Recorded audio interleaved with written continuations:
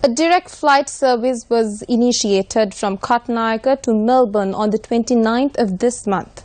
Imran Khan caught up with High Commissioner for Sri Lanka to Australia, Somasundaran Sak. During this year, our, our, relationship has got considerably stronger.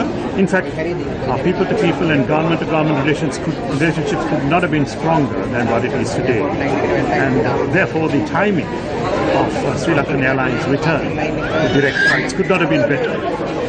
And to be quite honest, as most of us stood there and watched the wheels touch the tarmac, um, the runway, uh, we all had goosebumps because it's such a wonderful feeling. It was such an elegant uh, landing.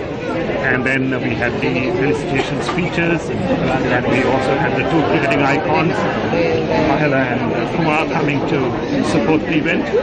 Uh, I'm greatly uh, enthused by the prospects that we have, uh, given the background to what we've achieved during the year.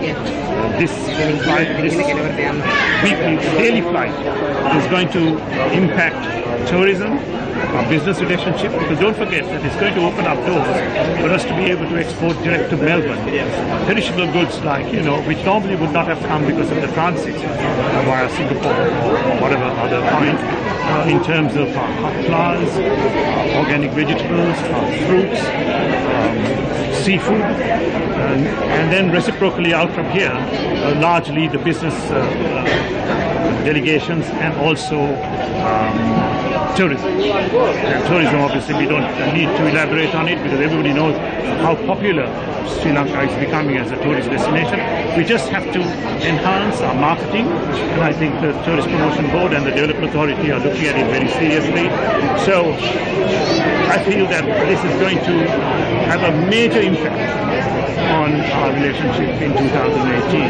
And like I said, it could not have been better time because 2018 is when we celebrate our 70th anniversary of independence as well. So it all augurs well.